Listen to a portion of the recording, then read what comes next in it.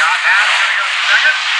Cox third, and John Cooper rounding out your top four.